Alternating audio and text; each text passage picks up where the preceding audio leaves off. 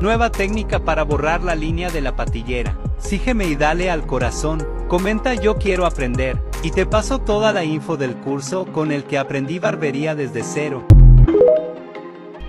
No inicies un corte de esa manera, marcando la cero con tu máquina al revés. Te vas a demorar mucho y en ocasiones puedes lastimar a tu cliente. Inicia colocando un molde base, en este caso el número 2.